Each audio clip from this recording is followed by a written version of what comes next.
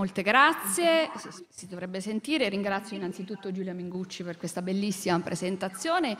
Io eh, sono molto grata per, per questo invito eh, che per di più mi, mi permette di parlare di un tema bellissimo e anche un tema eterno come quello della giustizia e accanto adesso eh, il tema strettamente collegato dell'ingiustizia.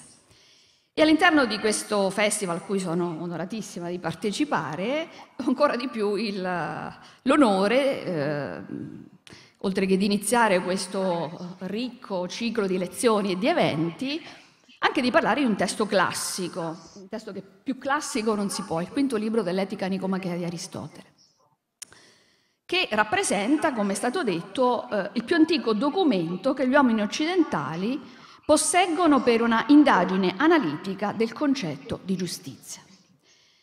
Come scandito questo libro? Io um, così, ho, ho, proposto un handout che eh, mostreremo, eh, adesso ovviamente non andiamo a leggere tutti i capitoli eh, di che cosa si occupano, sono 11 capitoli nell'edizione eh, Bywater, poi proverò a attraversarli nell'ordine in cui ce li propone Aristotele. Come inizia eh, il quinto libro dell'Etica Nicomachea? Con la domanda che cos'è la giustizia. E Aristotele dice, vediamo che tutti intendono con giustizia quello stato abituale, quella hexis, si dice in greco, da cui si è resi in grado di compiere azioni giuste e sulla base del quale si agisce giustamente e si vogliono le cose giuste. E lo stesso vale per l'ingiustizia. Quindi già in questa prima affermazione ci sono, per così dire, quasi tutti i termini chiavi attorno ai quali ruoterà il nostro discorso. Dico subito, anche se è ovvio, che non ho minimamente la pretesa di esaurire tutte le articolazioni di questo libro ricchissimo, eh, proverò a mostrare alcune delle articolazioni fondamentali, visto che, come è stato ricordato da Zanetti, affrontare l'intera dottrina della giustizia di Aristotele è un'impresa tremenda e ben difficilmente realizzabile senza ricorrere ad approssimazioni e superficialità anche gravi, quindi grande senso del limite naturalmente. Eh, quindi devo limitarmi ad accennare alcune questioni sulla scorta di quello che è stato detto, è stato già ricordato benissimo di Giulia Mingucci, questo approccio multifocale, questo continuo spostamento dello sguardo che vale per tutta la filosofia antica, nello specifico per Aristotele e ancora più nello specifico proprio per la nozione di giustizia. Questo, le cose sono in tanti modi, sono complesse e dunque vanno dette in tanti modi. A me piace eh, un'immagine, la filosofia di Aristotele, eh, proprio per questa sua duttilità, questa sua flessibilità, può essere paragonata alla camminata di un camaleonte su un tappeto variopinto. Questa, questa immagine del, muta pelle, cambia pelle a seconda del percorso che viene effettuato. Prima di entrare nel merito del, del testo, alcune osservazioni rapide di cornice che secondo me sono importanti proprio per contestualizzarlo. La prima è questa, siamo nel quinto libro dell'etica nicomachea, credo anche uso consumo dei molti studenti eh, che vedo presenti. Il quinto libro dell'etica nicomachea è un libro in comune anche con l'etica eudemia, corrisponde al quarto libro dell'etica eudemia. Ma Aristotele non si occupa solo qui in modo specifico di giustizia, se ne occupa per esempio anche nella grande etica, che è la terza etica, un po' la Cenerentola, io mi, mi ostino a considerarla autentica, nel 33 capitolo del primo libro. Ma non solo. Di, di giustizia Aristotele parla anche in un'altra opera, sono i problemi, nella sezione 29 dedicata a giustizia e ingiustizia. E ancora nel catalogo delle opere aristoteliche che ci è stato tramandato da Diogene Laerzio nelle vite dei filosofi, al primo posto figura un dialogo che è andato perduto, che è intitolato Peridica Iusines, in quattro libri, cioè sulla giustizia. Ci sono anche altre due opere, sempre in questo catalogo, dedicato a questo tema. Segno che il tema ad Aristotele interessa molto. Giustizia interessa ad Aristotele. E come la chiama? Come si chiama? Come si dice in greco giustizia? Si dice in tanti modi, anche qui farò una piccola carrellata proprio a modo di inquadramento, ma i due termini chiave, i due termini fondamentali sono diche e dicaiosine, che tra l'altro occorrono molto nel corpus aristotelicum, dicaiosine occorre 161 volte, eh, nell'etica, nella politica, nella retorica, nell'organo, e diche 67 volte. La dicaiosine che cos'è? È la giustizia, ma la giustizia come virtù, come hexis, l'abbiamo visto prima, come stato abituale, come un modo radicato di stare al mondo, come ciò che ci permette di compiere azioni giuste perché siamo giusti dentro, anche se nessuno ci vede, come in quell'immagine bellissima del secondo libro della Repubblica di Platone dell'anello di Gige, che è in grado di rendere invisibili, è, sostanzialmente un anello che assicura no? l'impunità agli esseri umani, e lì ne possiamo discutere se volete anche dopo. E quell'anello, eh, eh tutti hanno questo anello e sono invisibili, magari ognuno fa, fa, quello che vuole. Invece Aristotele dice no, se uno è giusto dentro, è giusto anche se nessuno lo vede. Quindi la dikaiosune è questa seconda pelle, questo modo di essere che ci abita in maniera costante. Um, un altro termine per dire giustizia è dike, ma dike è anche una dea. Dike è eh, naturalmente eh, molte di queste figure eh, la figlia di Zeus e Temis, naturalmente, sono anche delle divinità. E Dike deriva da un verbo che è deiknumi.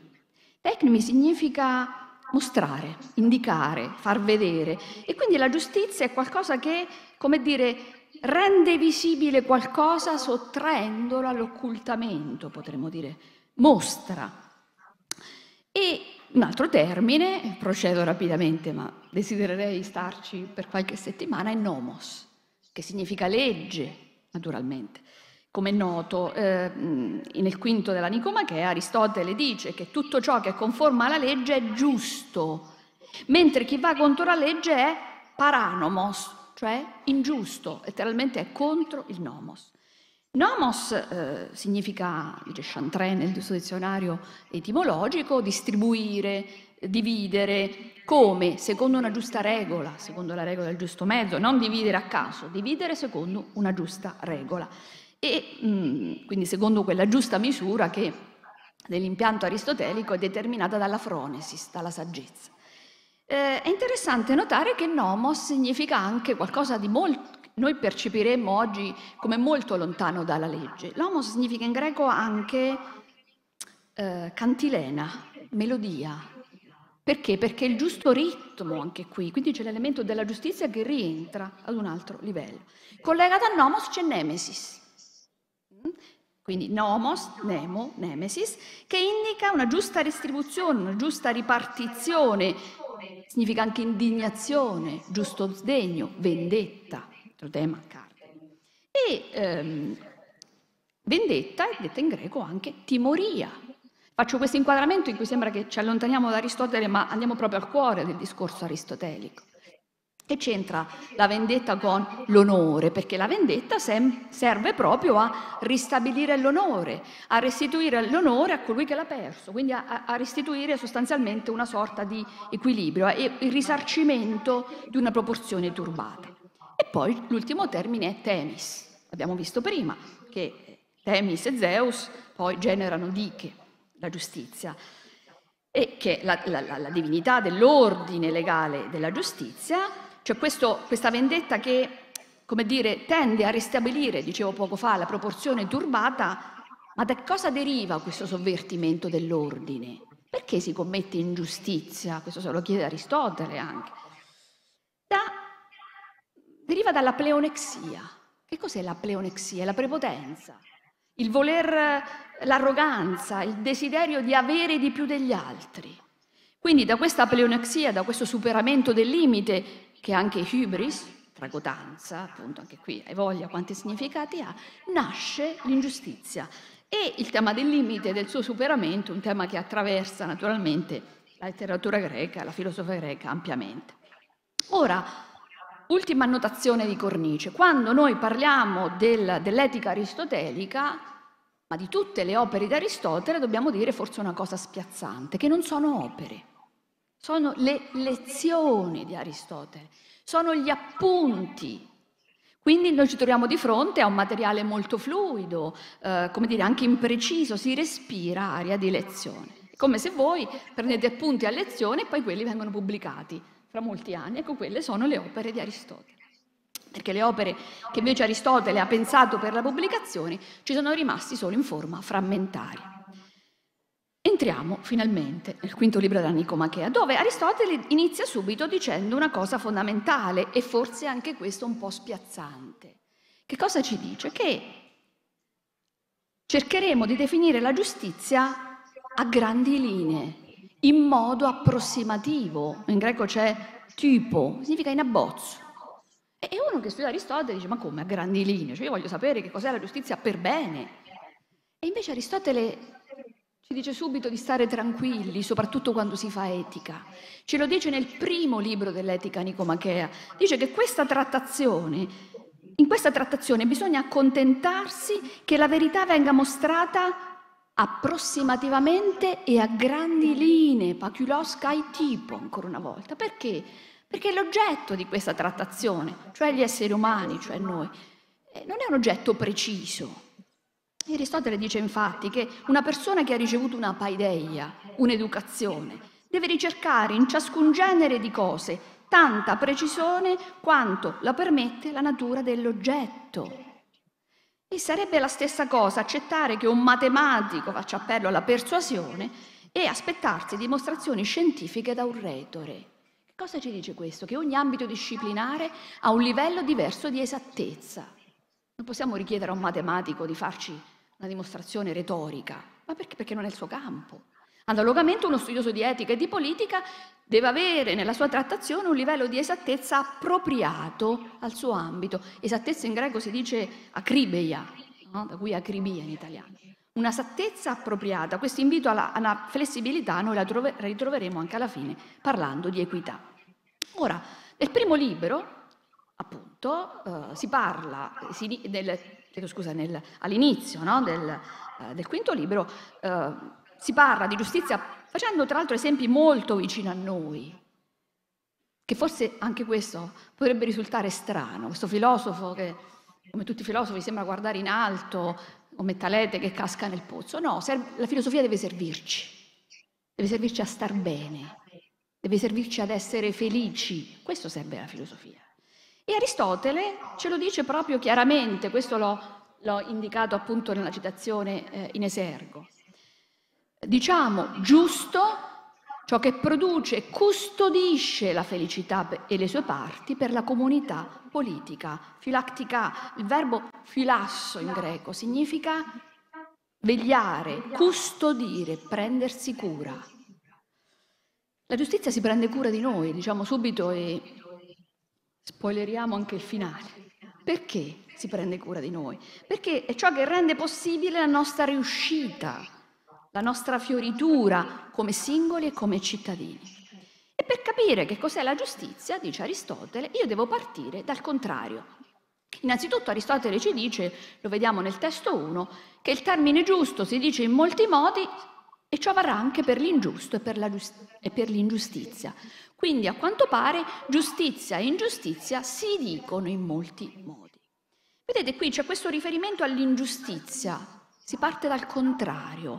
Questo è un procedimento metodologico molto interessante che Aristotele abbozza anche nei topici, un'opera dell'organo eh, di Aristotele, quindi la cosiddetta logica. Aristotele dice che uno stato abituale può essere riconosciuto anche dal suo contrario. Si può partire dall'ingiustizia che è intuitivamente più evidente.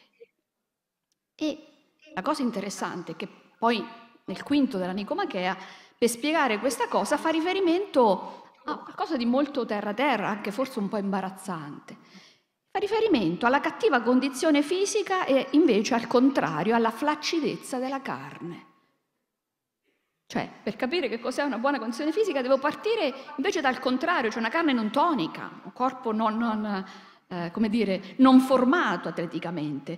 Quindi vedete che già in questi esempi si capisce, credo bene, come il pensiero aristotelico sia saturo di vita, impastato proprio alla terra, no?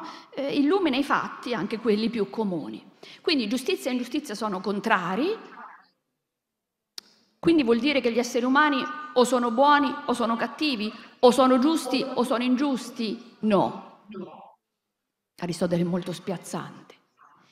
Anzi, dice Aristotele, Metafisica Delta 22, quindi siamo passati a un'altra opera, non ogni, essere, non ogni essere umano è buono o cattivo, o giusto o ingiusto, ma c'è uno stato intermedio. Anzi, dice Aristotele, altrove, ma già l'aveva detto Platone, la maggior parte degli esseri umani sta in mezzo. La maggior parte degli esseri umani non è cattiva o buona, è in mezzo. E su, in che senso gli esseri umani nella maggior parte dei casi stiano in mezzo è un tema che mi appassiona molto, che trovo anche molto vicino a noi, se ci sarà occasione magari discutiamo dopo. Quindi Aristotele quindi dice che il termine giusto si dice in molti modi e passa a esaminare eh, le varie forme di giustizia, il testo 2 eh, dice esattamente questo, cioè inizia a parlare della forma di eh, giustizia perfetta, dice che questa forma di giustizia, lo vedete, è una virtù perfetta, non in sé, ma in relazione ad altri, e questo è un, passo, un punto centrale. Ed è per questo che spesso la giustizia è ritenuta essere la virtù più eccellente e che neppure la stella della sera e quella del mattino sono altrettanto degne di ammirazione. E nella giustizia è compresa ogni virtù ed è una virtù massimamente perfetta perché consiste nell'esercizio della virtù perfetta e insiste su questo elemento relazionale. La giustizia è una virtù perfetta, è la virtù più eccellente, è la più degna di ammirazione. In greco c'è taumastos, che significa anche meraviglioso, è collegato a trauma, che è ciò da cui nasce la filosofia. Eh? La filosofia nasce dalla meraviglia. Trauma significa anche stupore, inquietudine, eh, insomma è qualcosa che ci turba, che innesca eh, il desiderio di conoscere.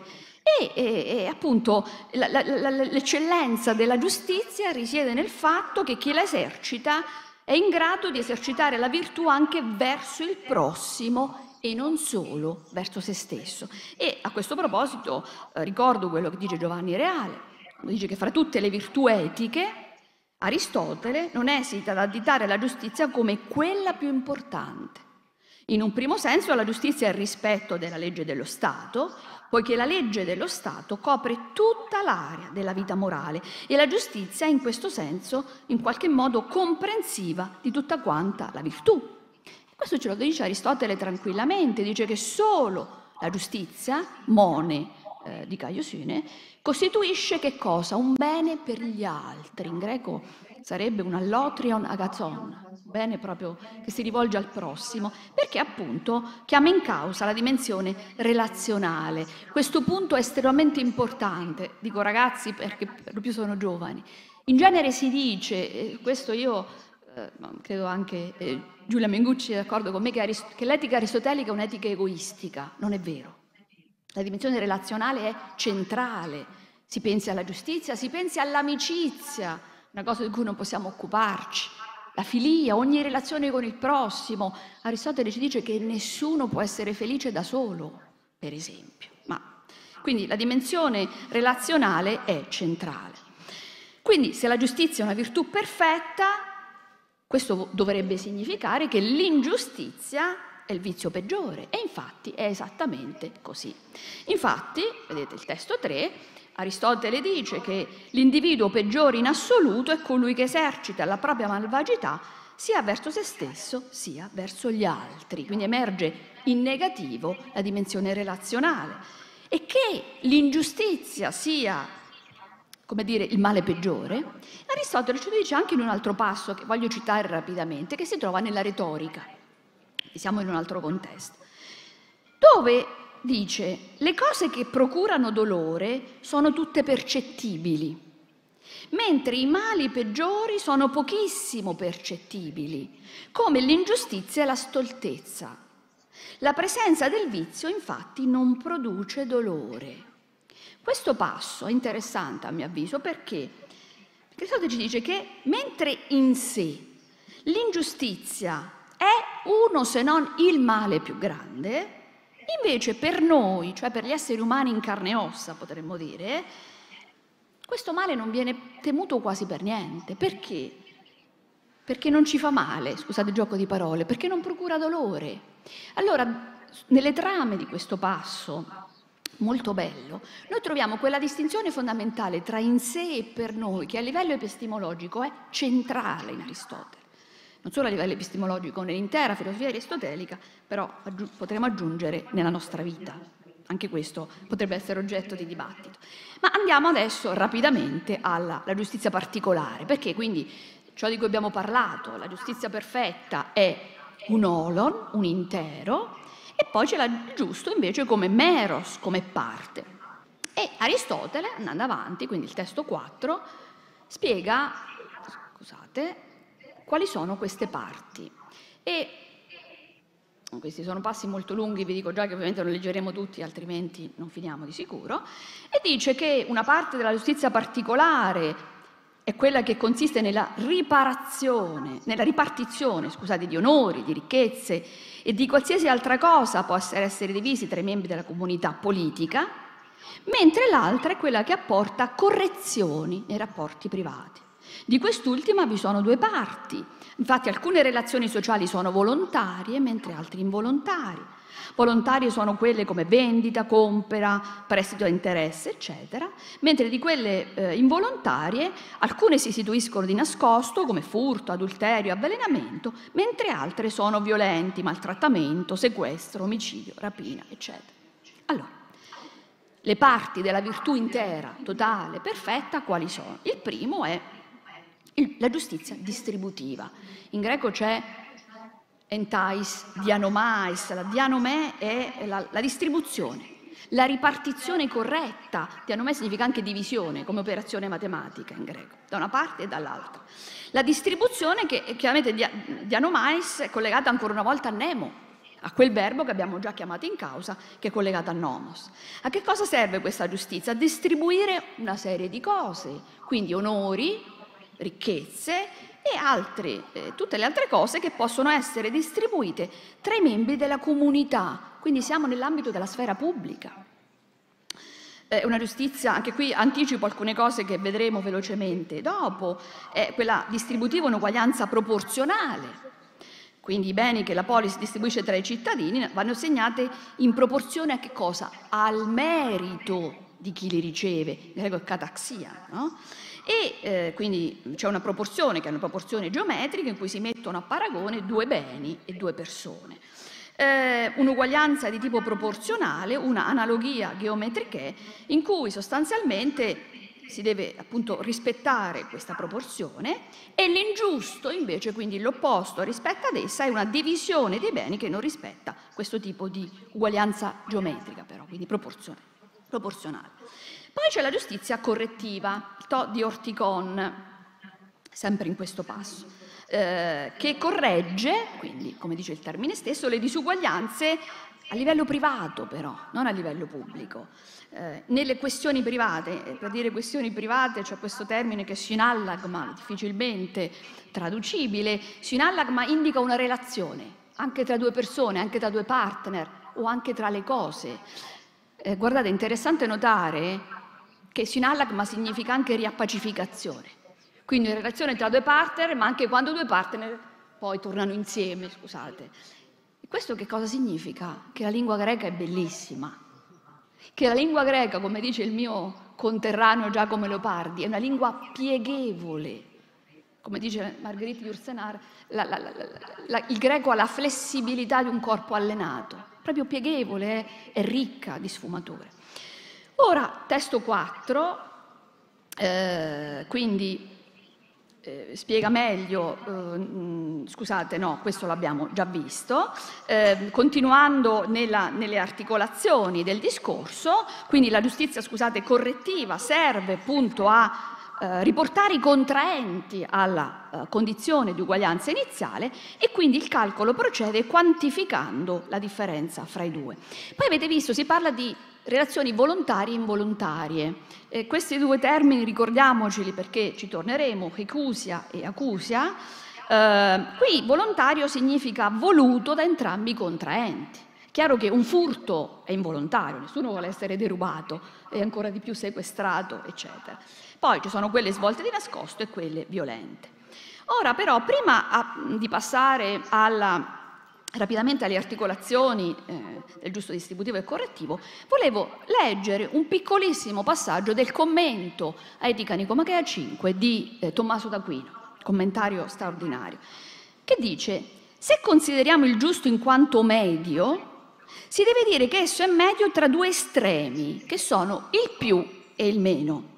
In quanto il giusto è uguale, bisogna che lo sia tra due cose, in quanto il giusto è giusto, bisogna che esso sia di alcuni individui verso altri individui, perché la giustizia è rivolta a un'altra persona.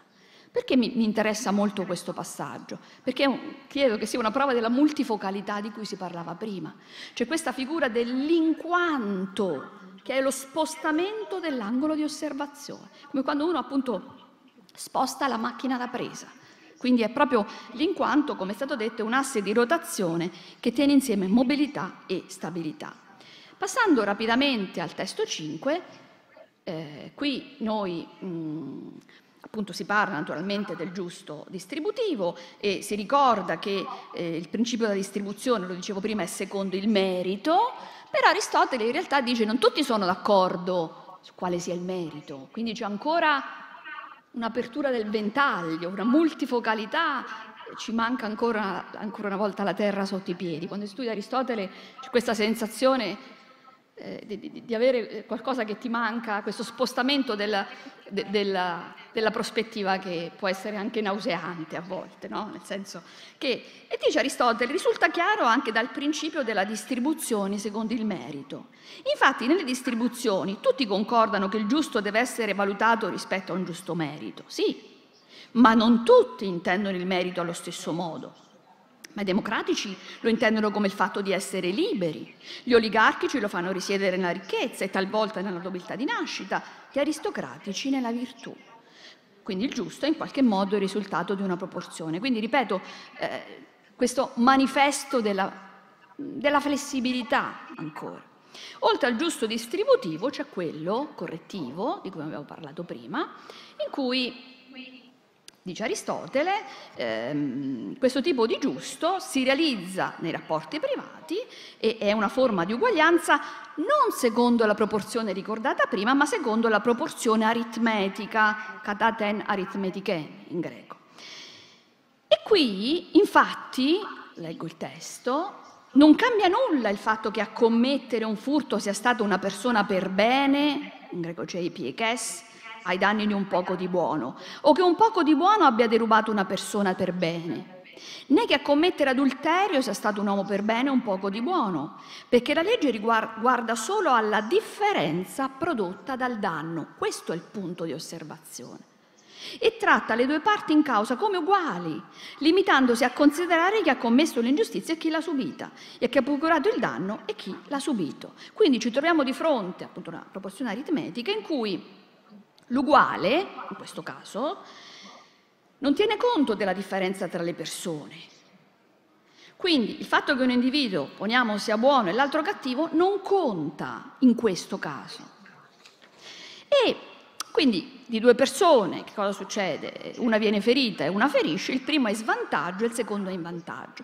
E quindi il giudice deve cercare di rendere uguale questa situazione di disuguaglianza prendendo da, dallo, dal, dal vantaggio per darlo alla perdita, quindi toglie qualcosa a chi ha percorso qualcuno contro la sua volontà e lo dà a beneficio o a ricompensa della vittima. Quindi in questo senso il giusto è l'elemento intermedio tra perdita e guadagno, che è peraltro quello che Aristotele ci dice anche nell'Etica Odemia, nella lista delle virtù e dei vizi. Qui il testo, sto correndo come una disperata per provare a, come dire, almeno a, dare qualche cenno generale, il testo è ricchissimo davvero.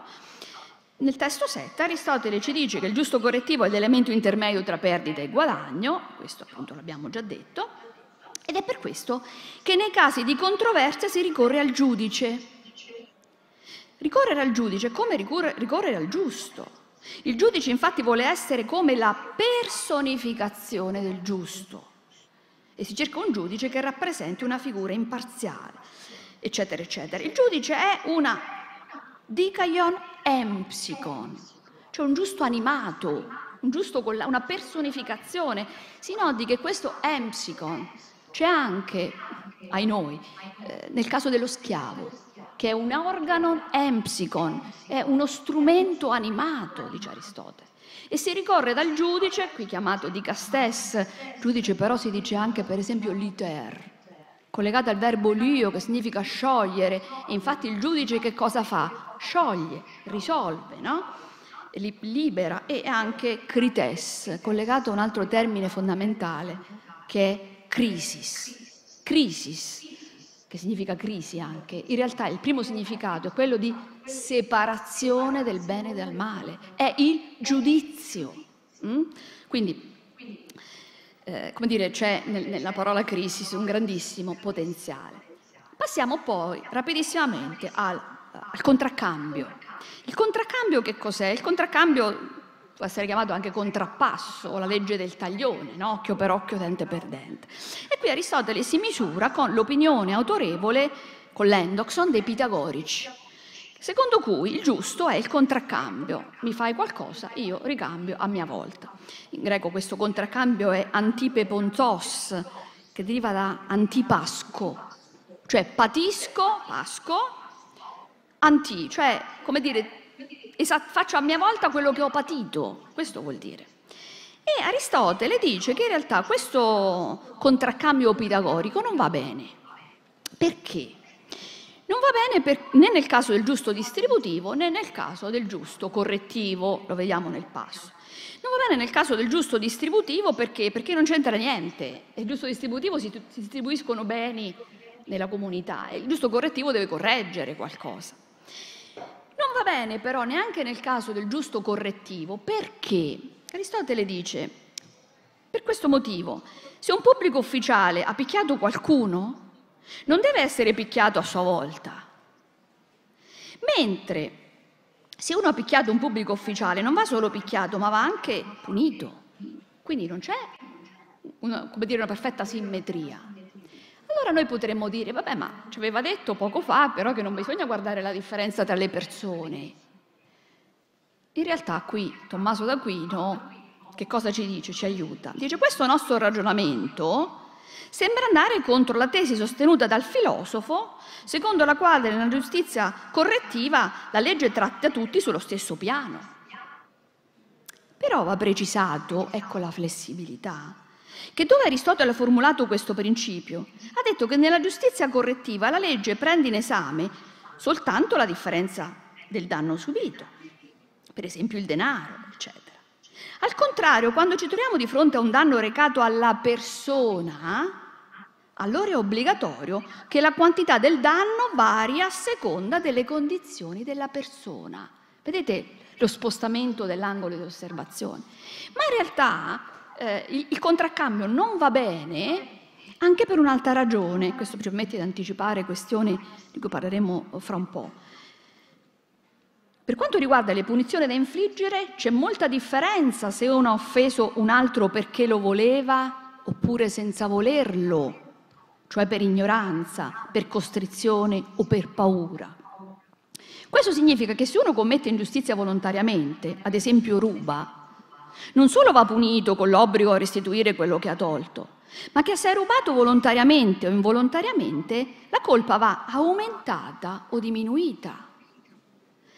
E l'offesa di chi sbaglia volontariamente è più grave in quanto al danno esterno si aggiunge il disprezzo interno dell'animo. E qui c'è quest- alcune questioni su cui torneremo della, dire, dello stato d'animo, diciamo connessa all'azione giusta o all'azione ingiusta, che è determinante, che è decisivo. Qui poi nel testo 9 c'è un altro riferimento a nozione importantissima, la, la questione della moneta. Mm?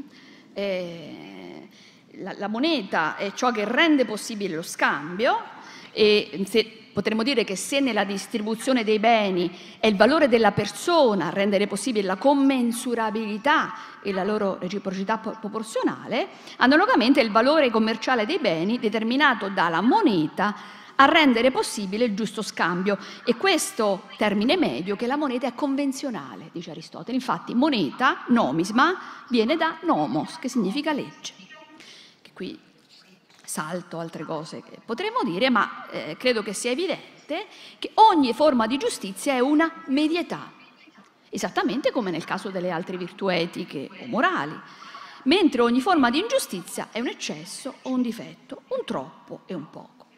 Passiamo rapidamente al testo 10, in cui Aristotele sposta nuovamente lo sguardo e come dire, guarda diversamente il giusto a partire da un'altra prospettiva. Qui si parla del politikon dikaion, del giusto politico, cioè del giusto che si realizza nella polis. E ci dice Aristotele, quest'ultimo è quello che riguarda coloro che vivono insieme per raggiungere l'autosufficienza, cioè proprio autarcheia, e che sono liberi e uguali. E questo già è un elemento importantissimo e che è anche un elemento discriminante di esclusione. Perché? Perché il giusto politico, se riguarda persone uguali, per esempio non riguarda gli schiavi. Dite, vabbè, gli schiavi. Non riguarda neanche le donne, eh? lo dico alle molte donne presenti, perché per Aristotele la donna è per natura inferiore. E infatti, guardate il testo 11, Aristotele dice, per questo motivo il giusto riguarda maggiormente il rapporto che la moglie ha diciamo, con la moglie rispetto a quello che viene instaurato con i figli e con gli schiavi perché anche gli schiavi sono inferiori, eh, anche i figli sono inferiori. Quello tra marito e moglie, infatti, costituisce una vera e propria giustizia domestica, pur essendo anch'essa diversa dal giusto politico. Cioè, la moglie fa parte dell'oikos, cioè della famiglia, come gli schiavi e i figli, da cui la parola economia, economia significa il nomos dell'oikos, ok? Ma dice tra marito e moglie ci può essere sicuramente un giusto più vicino a quello politico rispetto a quello con lo schiavo, ma non è un giusto politico perché la moglie non è uguale al marito. Le donne sono inferiori e quindi le mogli sono inferiori ai mariti. Lascio questo a, eventualmente al dibattito e a evidenti, forse, sussulti. Quindi non è una giustizia vera e propria perché, come è stato detto, Aristotele non intende stabilire regole per i bambini, per gli schiavi, per gli operai, aggiungiamo anche per le donne. Non parla che a uomini liberi e riflessivi, cioè dotati di logos. Il giusto politico a sua volta si divide in naturale e legale e, e qui naturale, dice Aristotele, è quello che eh, è riconosciuto ovunque, ha la stessa validità e eh, come dire, non cambia. Eh, il giusto naturale è un giusto che come dire, ha ovunque lo stesso potere perché è collegato alla natura, perché la natura è la causa di ciò che è giusto e la natura è la stessa per tutti e è in grado di spingere al bene, tra l'altro, secondo Aristotele. E tra l'altro lo stesso Aristotele dice che il giusto eh, naturale un giusto assoluto, un giusto perfetto e in questo medesimo orizzonte si colloca quello che nella retorica viene chiamato il nomos koinos, cioè la legge comune eh, che tra l'altro viene anche detta agrafos, cioè legge non scritta, quindi si aprono anche qui riflessioni interessanti. Il testo 13, eh, che non leggo anche qui, crea una serie di interessanti distinzioni tra universale e particolare. Perché? Eh, qui si riferisce naturalmente alla distinzione tra giusto legale e giusto naturale, ma perché la differenza tra universale e particolare? Perché Aristotele, per esempio in Etica Nicomachea 7, sempre, dice che ciascun tipo di norma e di legge sta come l'universale al particolare. Infatti le azioni compiute sono molte, ma ciascuna norma è una sola, infatti è universale. Allora qui questo passaggio apre le strada a quella fondamentale nozione che è l'equità di cui ci occuperemo fra pochissimo. Però eh, la cosa interessante, adesso dovremo occuparci rapidamente di due capitoli che sono l'ottavo e il nono, che sono molto lunghi e che contengono indicazioni importanti e che implicano in qualche modo uno spostamento dall'esterno all'interno del soggetto. Ricordiamoci questo movimento. Che vuol dire? Vuol dire che, ehm, come è stato eh, ricordato, la giustizia ha sì un, come ha ricordato per esempio Ross, ha sì come dire un versante esterno, quindi consiste nella capacità di distribuire i beni, ma anche un versante interno. Che cos'è il versante interno? È quello stato d'animo, quello stato abituale che ricordavamo all'inizio, e la disposizione ad agire in un certo modo per scelta. E come ha ricordato un altro che è Bodeus, la giustizia è per Aristotele innanzitutto uno stato dell'anima. Okay? Ora, in questo processo di interiorizzazione del nomos, eh, questo processo è in qualche modo preparato da quello che si legge all'inizio del, sesto, del sesto capitolo del quinto libro dell'Etica Nicomachea, dove Aristotele dice una cosa apparentemente paradossale, ma solo apparentemente. È possibile compiere azioni ingiuste senza essere ancora ingiusti. Infatti, può accadere che uno abbia una relazione con una donna sapendo di chi si tratti, ma che lo faccia non a causa di una scelta razionale, ma perché vi è spinto dalla passione.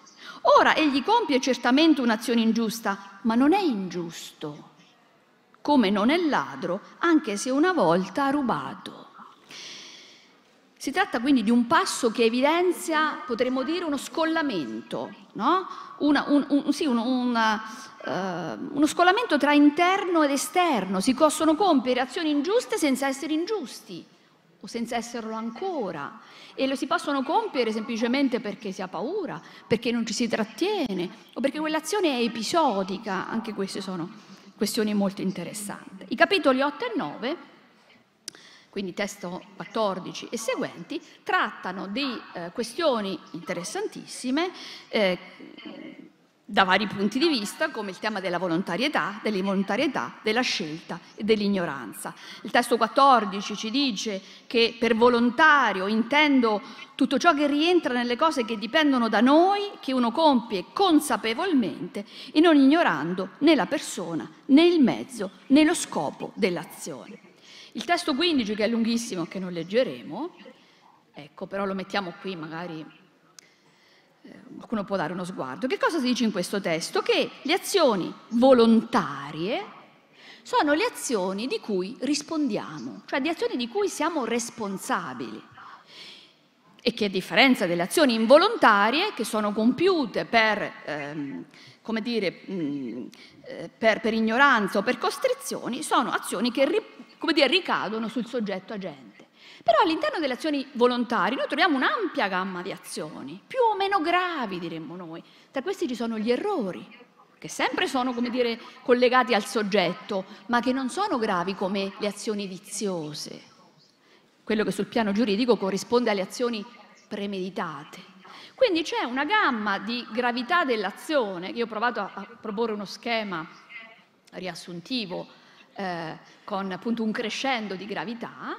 Aristotele quindi distingue la, disgrazia, quindi lo, ovviamente una disgrazia è ciò in cui il soggetto agente non è responsabile, l'errore in cui il soggetto sì, eh, come dire, colpevole ma non è vizioso, e poi le azioni ingiuste, ma si potrebbe anche aggiungere l'azione ingiusta compiuta in base al vizio dell'ingiustizia cioè compiuta in base ad una scelta, si diceva prima, e la scelta è la fusione di ragione e desiderio.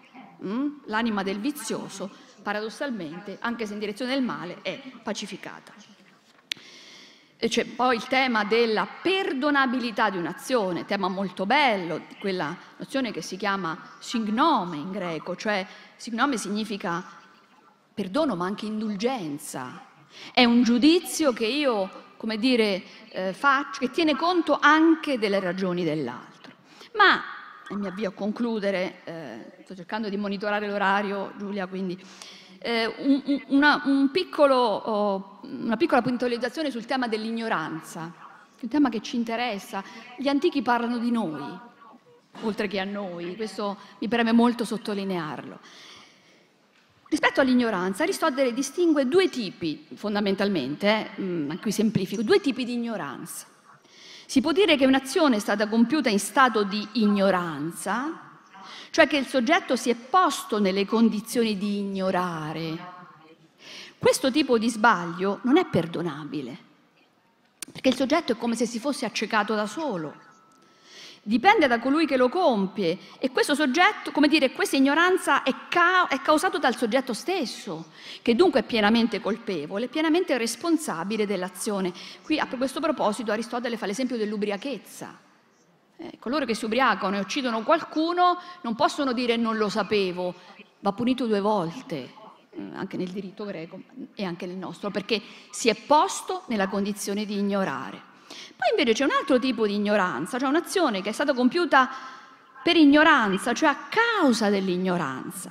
Quindi un'azione ingiusta in cui il soggetto non conosce né chi danneggia, né il mezzo, né il fine. E questo soggetto non è ingiusto, dice Aristotele, ma è sfortunato. E sapete tra vari esempi quale fa? Uno sembra una tragedia shakespeariana, uno che ha dato da bere a qualcun altro un filtro d'amore, ma dentro quella, quel contenitore c'era un veleno. E quindi dice, oddio, sono sfortunato, non lo sapevo, ignoravo, ma capite che questa forma di ignoranza, un'ignoranza specifica che nulla ha a che vedere con l'altro tipo di ignoranza che dicevamo prima.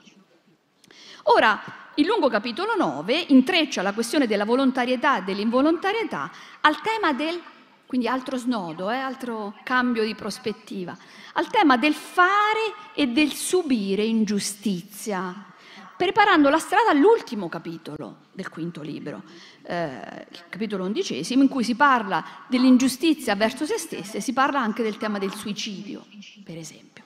Ora, fare e subire ingiustizia viene anticipato già nel capitolo 9 a dire come, anche se questo libro è eh, disorganico, problematico anche dal punto di vista testuale, c'è però una logica, c'è una continuità, ci sono dei dire, dei filoni che legano le varie parti. Ora, rispetto al tema del fare e del subire ingiustizia, c'è uno scarto concettuale fondamentale, così anticipo alcune cose che dovevo dire alla fine. Cioè, nel senso che fare e subire ingiustizia, fare e subire, sono sì eccesso fare ingiustizia e sì difetto subire ingiustizia, ok? Rispetto a che cosa? Rispetto al giusto mezzo rappresentato dalla giustizia. Ma solo il fare ingiustizia è vizio. In genere il modellino classico qual è? C'è una virtù, un giusto mezzo tra due estremi, entrambi viziosi. In questo caso di, que- di, questi due estremi solo uno è vizioso, il fare ingiustizia, perché il subirlo non è vizio, uno poveretto è sfortunato. Dice, vabbè, ho subito ingiustizia, sono pure vizioso, eh, cioè mi pare un po' eccessivo. Vedete che quindi la ricchezza del discorso aristotelico andrebbe sempre seguita in tutte le sue pieghe. Ora fermiamoci eh, un attimo al capitolo 9 e poi andiamo a, alla, alla questione dell'equità. Il capitolo, il testo 17 è molto interessante per varie ragioni, ma oltre a dirci all'inizio che essere ingiusti dipende da noi, eh? questo è un punto centrale, ci dà anche una serie di indicazioni ancora una volta di metodo, perché dice Aristotele, le persone credono che il commettere ingiustizia dipende da loro e per questo ritengono che l'essere giusti sia facile, ma in realtà non è affatto così. Infatti, per certi versi è facile e dipende da loro avere la relazione con la moglie del vicino, picchiare il prossimo, corrompere col denaro. Ma fare questo sulla base di uno stato abituale, di quella hexis di cui parlavamo prima, non è facile né dipende da loro. Allo stesso modo non è difficile capire che cosa dicono le leggi, mentre sapere come si devono fare, come si devono distribuire le cose perché risultino giuste, questa è sì è un'impresa ancora più grande che sapere ciò che ci fa guarire, benché anche in questo caso sia sì facile sapere che il miele, il vino e altre cose fanno bene alla salute con moderazione naturalmente, ma sapere come le si deve somministrare per ottenere la salute, a chi e quando, è tanto difficile quanto essere medico. Gli esempi sulla medicina in Aristotele abbondano in tutto il suo corpus. Tra l'altro è figlio di un medico, come credo sia noto. Perché? Tra l'altro la medicina è proprio una disciplina che intreccia insieme la dimensione teorica, pratica e anche empirica, la tribè. E Aristotele ci dice saggiamente che non si diventa medici sui manuali, che bisogna calare la conoscenza universale, il caso concreto, portarla qui ed ora. E proprio questo apre la strada alla questione dell'equità, dell'epieikeia, nozione ricchissima che sintetizzerò eh, brutalmente, per ovvie ragioni di tempo, che significa insieme equità ma anche indulgenza. Che cos'è l'equità? Ecco, è la capacità di ammorbidire la legge nella sua rigidità.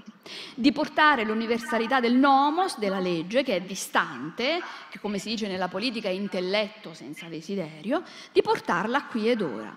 E, eh, e questo perché, non perché come dire, il legislatore abbia sbagliato, non perché come dire, ci sia qualche errore, perché la materia delle azioni, in greco c'è proprio yle, la, la materia, tom practon, è questa, noi siamo fatti così, siamo imprecisi e quindi dobbiamo ecco, avvicinarci al nostro oggetto con un metodo duttile. Metodo, la parola metodo significa proprio andare lungo la strada in greco.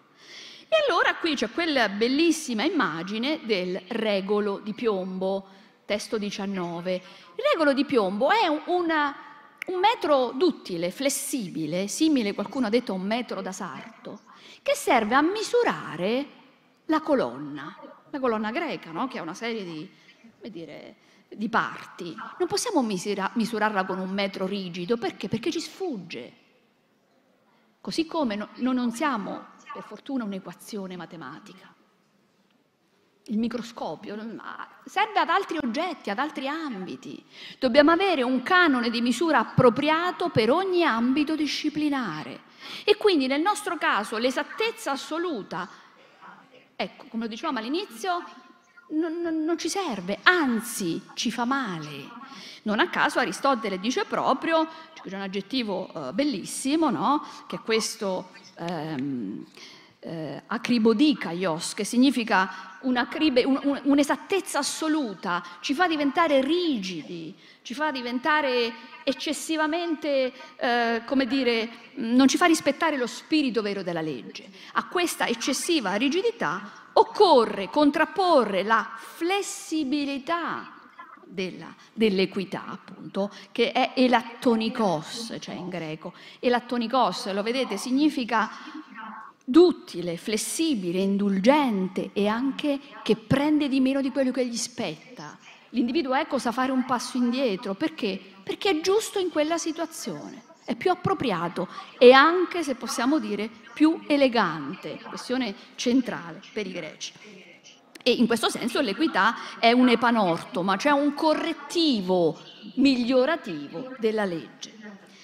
Ehm, dico due cose e poi concludo, giuro. L'ultimo um, capitolo risponde alla domanda se è possibile commettere ingiustizia verso se stessi e Aristotele dice no.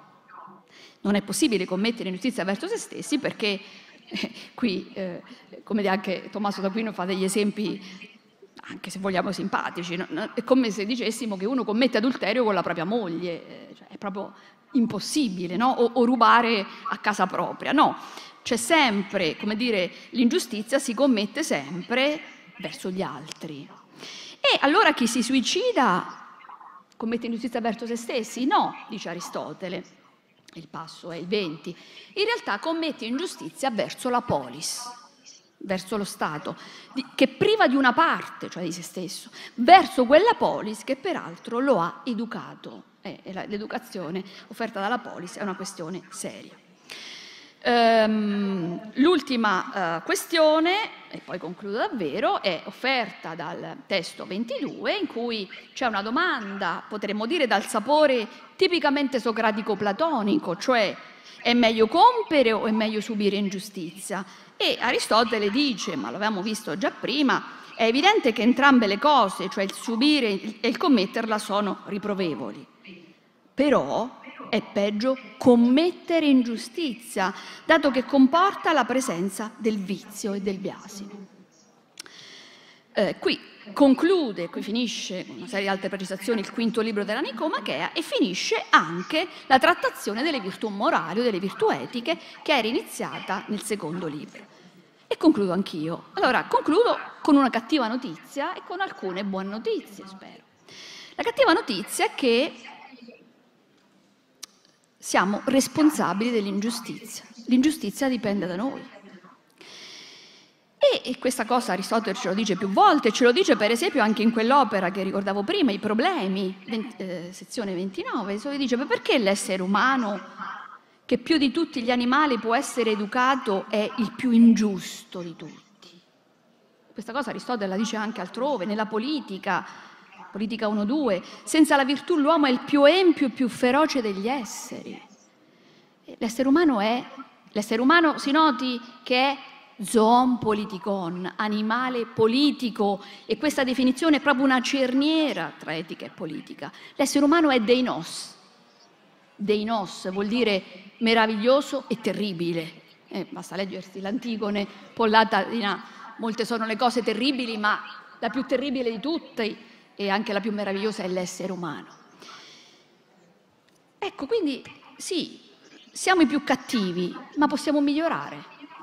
Quindi, come dire, eh, po- mm, Aristotele dice che non possiamo convincere qualcuno a non provare una passione, a non aver caldo, o non aver fame, o non aver freddo, ma può, gli individui possono essere educati a provarle bene queste passioni. E questo è il compito della politica e anche della legge e dell'educazione. Quindi quando ci occupiamo di etica, come stiamo facendo adesso, il nostro compito non è quello di conoscere dal punto di vista teorico che cosa vuol dire essere giusti. Il nostro compito e il nostro desiderio è di essere giusti. Quindi di portare la giustizia qui e ora. La filosofia, in particolare questa filosofia, deve servirci a vivere bene. E questo è il compito della filosofia e della filosofia pratica. Ma se già siamo qui, forse questa è un'altra buona notizia. E, e, le buone notizie non finiscono qua perché ci dice sempre Aristotele la giustizia è contagiosa, sempre problemi, eh, 29. Chi, perché, dice Aristotele, chi sta a contatto con un sano non diventa affatto più sano, né chi sta a contatto con un forte o un bello non aggiunge niente alla propria condizione. Eh, basta stare vicino a uno bello per diventare bello, purtroppo. Ciò che invece accade se si sta vicino a una persona giusta, temperante e buona. Forse perché le prime sono qualità che l'anima non può imitare, ma le seconde sì. Sì, si può diventare giusti imitando modelli positivi. E questo significa anche, chiudo davvero, che a differenza della diche, quindi chiudiamo il cerchio, che ha una funzione, dire, non preventiva, la DIC non mi permette di prevenire le colpe, mi permette di rimediare agli effetti e di ripristinare, dire, gli equilibri turbati. Ciò che può prevenire le colpe è la dicaiosine, cioè il radicamento di uno stato abituale. Allora, essere giusti ci rende felici, ci fa star bene, si prende... Insomma, la giustizia è ciò che rende possibile la nostra cura, anche nel senso dell'inglese care, dell'epimeleia di noi stessi. Chiudo con due citazioni. Il primo di Alberto Magno, che nel suo commentario ai topici ci dice che la giustizia è considerata dall'etica la migliore virtù in quanto produce la felicità del cittadino. In effetti, sul piano umano, nell'orizzonte etico-politico, la virtù della giustizia è la virtù più alta e la garante di una vita autenticamente felice. Ma questo già ce l'aveva detto Platone, che nel nono libro della Repubblica dice, aveva scritto che la vita del giusto è enormemente più felice di quella dell'ingiusto, e dice, e chiudo con questa citazione, se pertanto già dal punto di vista del piacere l'uomo buono e giusto sopravanza di tanto il malvagio e l'ingiusto, figurati con quale straordinario distacco il primo vincerà sul secondo per quanto concerne la dignità di vita, la bellezza e la virtù. Grazie.